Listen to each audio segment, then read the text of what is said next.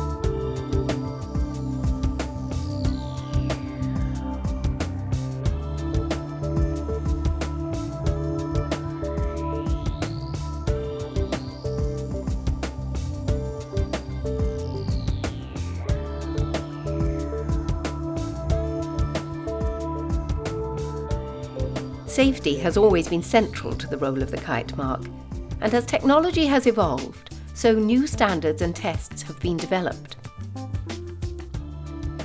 Changes in building materials resulted in a need for new tests and new applications for the Kitemark.